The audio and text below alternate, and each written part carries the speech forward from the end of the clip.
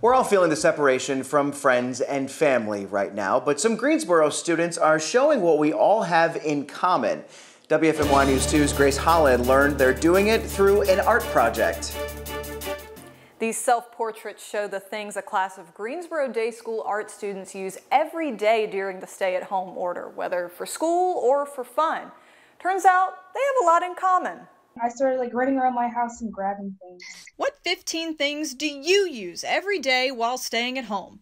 That's their assignment. I included some of my paintbrushes and my phone and my laptop. A deck of Uno cards. It's really nice to um, sit down and play a game of Uno with my family. And I put my Nintendo Switch because that's another thing I've been doing in my free time. My cats, they basically just like joined, joined in in the middle.